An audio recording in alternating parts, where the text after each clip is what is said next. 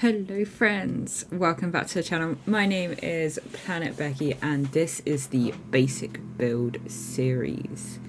This is the series where I am learning to build in the game of Planet Zoo uh, so that not all of my zoos look like square enclosures because that would make life really boring.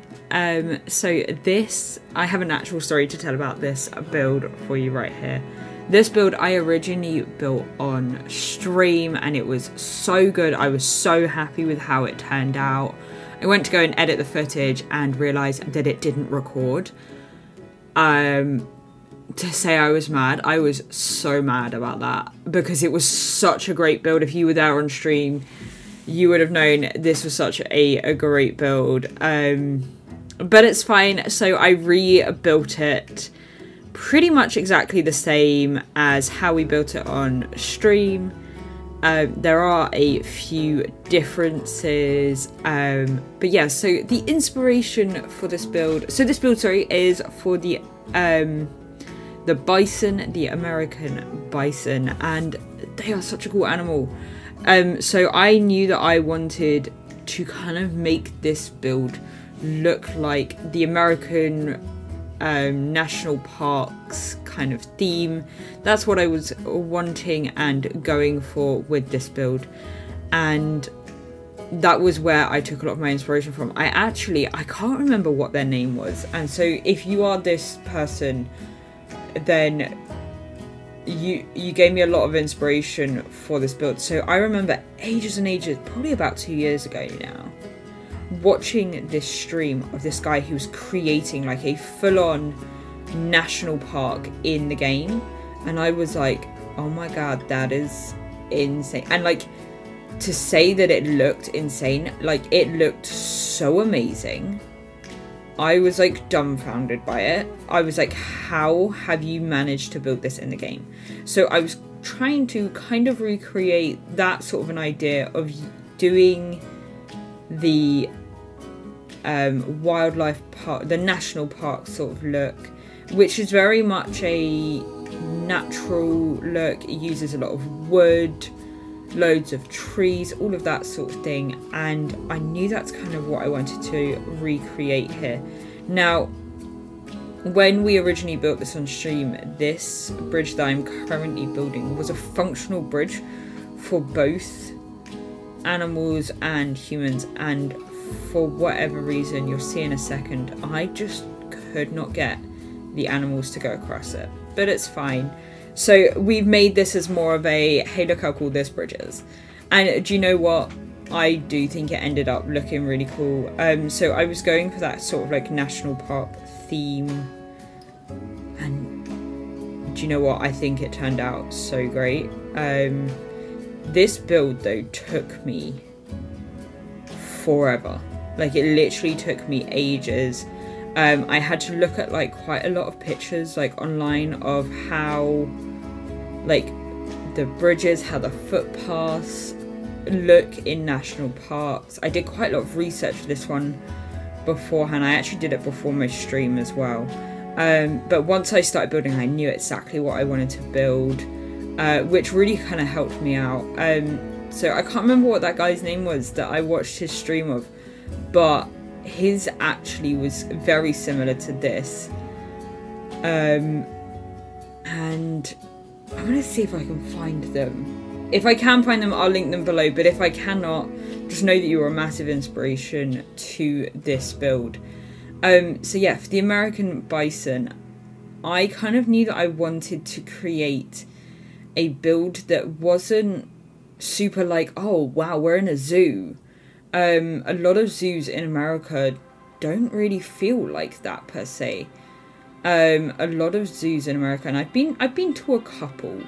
Um, they feel I I don't know if this is maybe just the the zoos that I went to. They feel quite natural actually to go to. Like they don't seem super super fake, uh, and that's kind of what I was going. And I think it turned out so great. So I wanted it to kind of look like a national park. Like we were part of the national park and this was just an enclosure within the national park.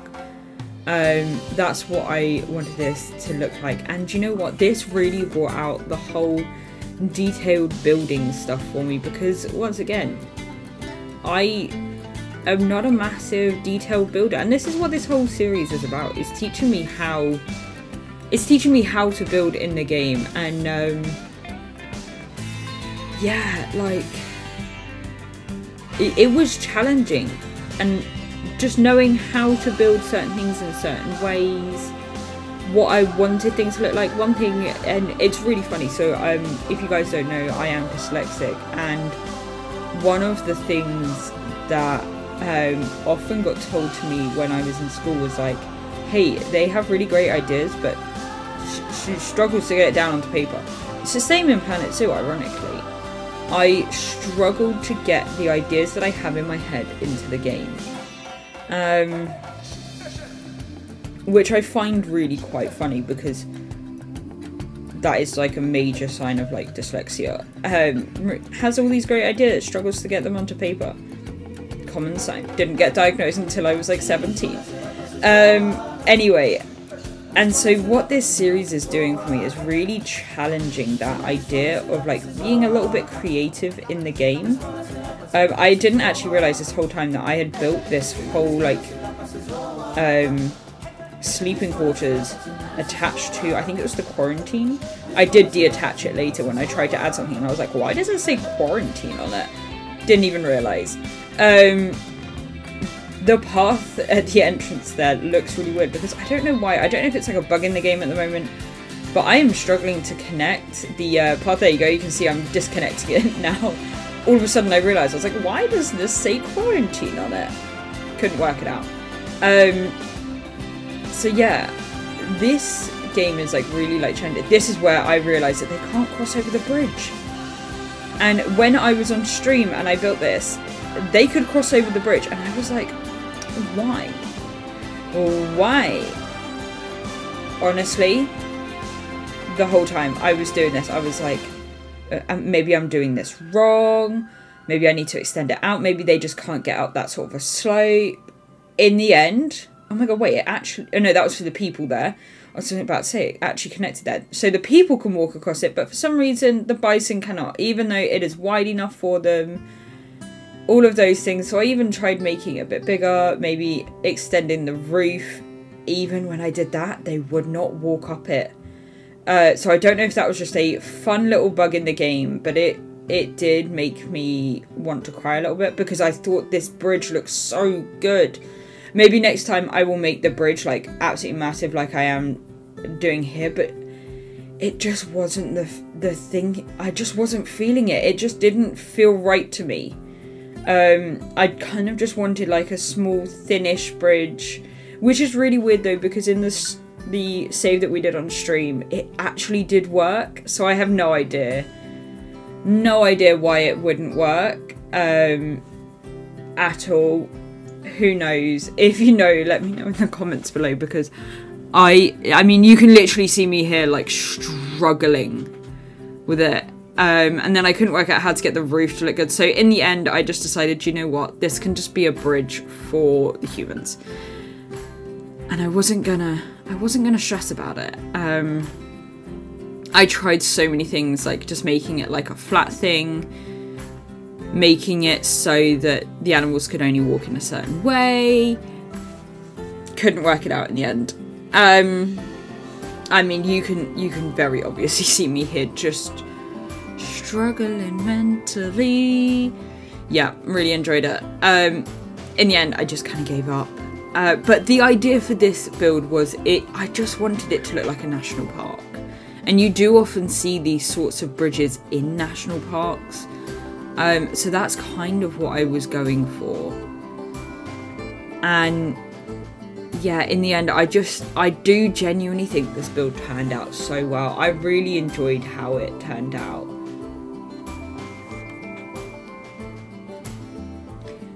So anyway, on to more of the decorating side of things. Once again, like I said, I really wanted this just to look like a massive national park and so I tried to not make it super super like what's the how am I looking at phrasing this I didn't want it to look unnatural. I wanted it, this to look like this would be something that you would see in the national parks. So lots of kind of rocks, water, trees. Um, I decided to go for wood as all of my building pieces in this game in this build because I do just think it does look that little bit more kind of natural um, and it's often that sort of thing that you see like you know someone's got a log cabin all of those sorts of things and I just think it looks so great in the end um, and yeah just that kind of really natural feeling so one thing like I said, that I did kind of struggle with was building that bridge, but I did not realise the American bison could swim. Sorry, I've only just noticed that. Anyway, I genuinely do think that this build turned out so, so great. I think the pieces that are in this game are so great. They just make this game so much better. They really, really do. And just the way that you can make something so look so easily good in this game is incredible. Um, just a few rocks and a few plants and things like that just make it look so great. One thing that I really wanted for this, and I know you won't necessarily find this in the national parks, but is kind of like Christmas lights going all the way through. It is almost Christmas um, here, so and I think it just looked really nice. I kind of wanted to put some form of lighting across this bridge um, because I would like to think that, you know, they would have some form of lighting. Um, you know, maybe not necessarily in the national park, but, you know, in zoos, most places do have good lighting wherever you go. So yeah, I, and I think it just gave it that something. It gave it a pizzazz. I don't know if pizzazz is the right word, but that is the word that I'm going with pizzazz. Um, it just made it look a little bit more homey, all of those things. It was also really nice to see, like, the people that were visiting the zoo were walking all the way around the enclosure rather than just stopping right at the first little bit, which obviously shows me that there are like good viewpoints at the other end. Um, which is obviously where a lot of them them are. Um, you can see here how I just made it light up a little bit. I just think some Christmas lights go a long way. Um, I mean, if you ever visited me at university, I had Christmas lights everywhere in my university room. And I was trying to add more, but sometimes less is more. And I was thinking, maybe do I like these ones? Maybe do I like... And I was like, no, I'm sticking with my original decisions here. I'm sticking with them but do you know what? I think they looked so great. I even tried just moving them around and I was like, mm. in the end, I just went back to the original because I just, I didn't like it as much. Um, but I love the fact that you can add just these very small bits of detail in into the game. I do think it makes a massive difference. Um, like in all honesty, like just adding those Christmas lights in, although it's nothing huge, it does make a difference. Um, so, one thing that we have spoken about previously is custom fencing, and that is something that I really wanted to do here. And I kind of wanted to do the same kind of fence as you see along the bridge, and I was originally using the bridge actual fence pieces that I built However, I then realised that the people could not see over them. And that is a slight issue because you want your people to view into it. Um, so I used the same pieces, just smaller, to make this fence. And I think it kind of really tied everything together. And I think it actually made it look so good. Um, one thing I am really learning is how just doing very small things can just really make such a massive difference. Um, I love the fence pieces that are in the game, the like the actual enclosure fences. Um, but once again, the chain link fence, they break down really easily and then it makes your enclosure look a little bit run down and all those things. Whereas these pieces won't ever like break, or as far as I'm aware, they don't break. That's a really interesting point because over time, obviously, in real life, they would. Um, but as far as I'm aware in the game, they can't break down. Um, so yeah, that's why I wanted to. I I keep wanting to place these sorts of like natural looking enclosures, I guess you would say. It, the, the, uh, fences, sorry, not enclosures. But I do want to get better at building. And you know what? Looking at this, and obviously I think it made it look a lot better once I placed all of the trees around the outside. So they don't affect the amount of trees you can have inside, but around the outside, it just made it seem like, oh, this is like a little area within the forest where the American bison are at. And I just, I I loved this build so much. I think so far this is one of my best builds. One thing I would like to work on for future, um, for future builds in the new year, because I have already filmed all of these ones uh, up until the new year.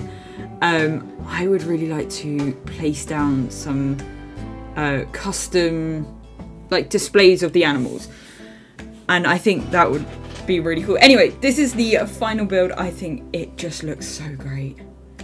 I think it looks so great. Also, shout out to Planet Zoo for creating this cinematic mode. Oh my goodness, I can build an enclosure now and just pop on the cinematic mode and just watch that for hours. Maybe not hours. Well, depending on the animal, definitely more than 10 minutes. Um, but oh my goodness, I was so happy with this, how this turned out. Anyway, here is my fun fact um, for you about this animal. So the Yellowstone National Park in the US is the only place where bison have continuously lived since prehistoric times, which is kind of insane. That means they've been around for like a really, really long time. And obviously Yellowstone National Park is like a massive national park in the US. And so that's kind of where a lot of this inspiration came from for this build. I do think it is really important to look at where animals came from to get that kind of building type in the game. Um, and as we explore all of the different animals, that is something that I would really love to incorporate. So guys, thank you so much for watching these videos. I really appreciate every single one of you. I appreciate the likes and the comments. Don't forget to leave a like and a comment. Click that subscribe button, click the bell so that you are notified every time a new video goes live on the channel. Leave me a comment of what you thought of this build, how you thought maybe, hey, you could have done this better by doing this. Also, how would you have done the bridge? Anyway, thank you so much friends and I will see you in the next one. Bye friends!